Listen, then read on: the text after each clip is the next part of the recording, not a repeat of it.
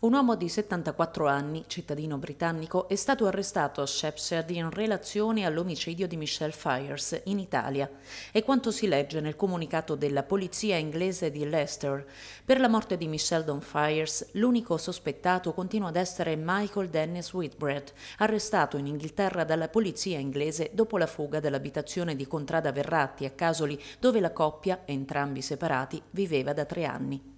Elementi utili per chiarire se e perché a uccidere Michelle Fayers sia stato proprio il 74enne inglese, compagno della vittima di questo ennesimo femminicidio, potranno emergere dalla cooperazione tra gli investigatori inglesi e quelli italiani.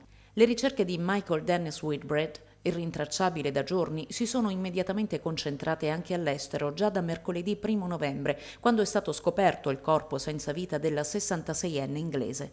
A lanciare l'allarme è stata un'amica di Michelle, Helen, anche lei inglese, trasferita nella vicina Palombaro dove vive una nutrita comunità di inglesi. Da giorni la 66enne non rispondeva al telefono ed Helen, preoccupata per il lungo silenzio, aveva deciso di recarsi in Contrada Verratti a Casoli.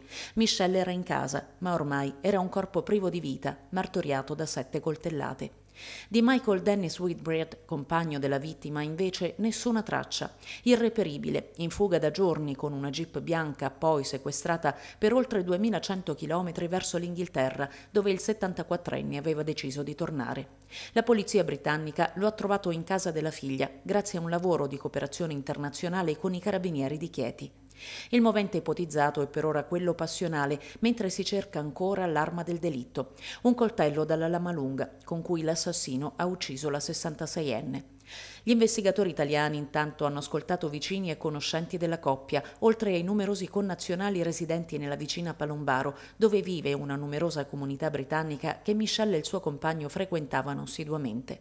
Testimonianze preziose che anche la stampa inglese, con il Daily Mail e il Times, stanno cercando di raccogliere con i giornalisti inviati in Italia per raccontare l'accaduto, che ovviamente ha avuto un eco anche oltremanica. A giorni, il procuratore capo di Lanciano, Mirvana Di Serio, che indaga sull'omicidio, conferirà l'incarico per l'autopsia al medico legale Pietro Falco. In Italia intanto si attendono i familiari di Michelle Donfayers, madre di due figlie e nonna. La loro unica richiesta per ora è il rispetto della privacy e di un dolore troppo grande da accettare per un vuoto così improvviso.